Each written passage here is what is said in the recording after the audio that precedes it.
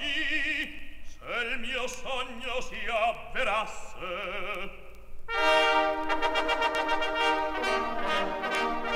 Un esercito di prodi t'ave guidato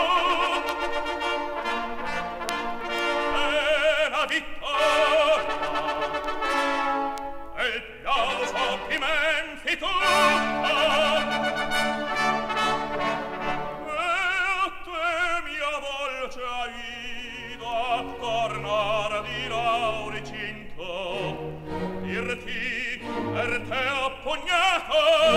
arta